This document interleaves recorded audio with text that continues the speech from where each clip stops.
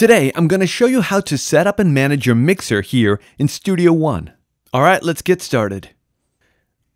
Every digital audio workstation has some form of a virtual mixer. Now, what you're looking at here is called the editor window.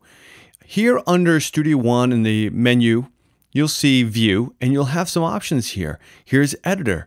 Now, to see a console, you can use F3 on your keyboard or select it here, and there you go. You can also access it here at the bottom right by toggling it on and off. And at any time, if you wanted to select focus in the mixing view on a specific track, like let's say the lead vocals, I could just double click that track in the editor and there it is. And the lead vocal, vocal track here has focus now. It goes from dark gray to light gray. All right, so that's just a little bit about that. But what you're looking at here is the virtual mix window. Now, first of all, navigating it is pretty easy, but there is a lot of information here. And we're going to streamline this for you a little bit. First thing you need to know is here in the top left corner of the mix window, you've got an option here to detach this window. Now it's floating. This is a great option if you want to put it on a second monitor. So you can have your all your editing on one uh, screen and your virtual mix console on another screen. We can also make it full screen and there you have it. These are also resizable. I'm selecting and dragging my sends. Here you have your inserts, your sends, and then your faders down here.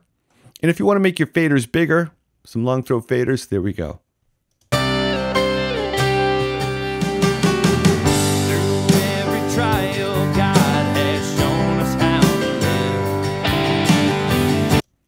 Now to obviously reattach it, up here in the top right, select reattach. There you go. So that's how you can start viewing your mixer. And by the way, here in my edit window, I want to point out to you resizing this. You have a couple of ways to conform what you're looking at here. Here in the bottom left, we have it set to normal. If I go to minimal, you'll see how small it shrinks all of my tracks. Let's go to small and let's go to normal. Now, if you want to fit everything in your view, just simply choose Alt Z on a Mac or Option Z on a PC, and there's everything. Now, if you want to go, obviously, you know, you want to go horizontally and not vertically, here it's down here in the bottom right corner. Here you can zoom in this way. And there's also a little slider knob that I like. So, you know, an easy way to navigate that. Now back to our mixer. Let's open our mixer. And we saw how to detach it and resize it. We also have some options here, some I.O. And what this is going to do is help you create your input and output. Uh, we're using a Quantum 2 here, and you can select through this matrix what inputs you have available on your hardware piece of device and which ones you want to make active. Now with the uh, settings wrench here, this is really important. I want to show you this you've got options to view a certain number of options that you want to work with. Let's say your input controls. If I select this, you'll see that it's adding input controls corresponding to my hardware so I can control the volume level that I'm recording into Studio One here. You can also show your I.O. connections and your VCA connections and group assignments and even add channel notes, which is a nice way to have it on. You can literally just label this with some quick bites of information regarding what it is you're working on there. All right. Now, what the next one's going to do, small and large, is just expand that for me. And if you leave it like that, next time you activate it here in the mix, it remembers where you had it. I like to see a little bit more of the uh, meters here when it goes up and down. And the same with the narrow and normal view. Here, let's take a listen to that.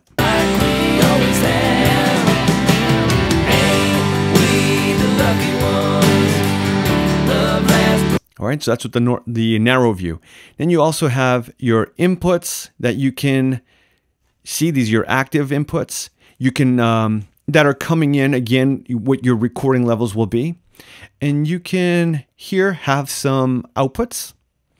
Now I only have one output right here, and this is the master. And then you can have some external devices here. You can add an external device, uh, for example, if you wanted to do a MIDI controller or something. And then your instruments. Now, here are our channel group. We can view these. You can activate and deactivate tracks here. Let's go to, let's say, my vocal track, which is uh, here, this one right here. If I wanted to take it out of my mix, I can select it right here, this, this dot right next to number 17, and it's removed from the mix. It's not deleted, it's just not part of the mix anymore. So you can add, make tracks active or deactivated this way. All right.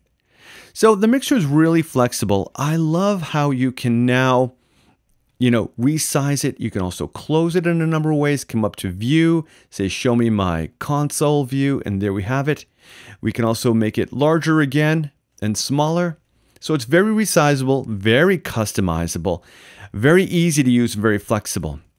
Now the mixer itself we'll get into later, but you've got your inserts, your sends, your pans, your solos, your mutes, and your, your levels here. And obviously you can relabel these as such. We live in a really good age. So, this is a quick look on how to customize and familiarize yourself with the graphical user interface of the mixer.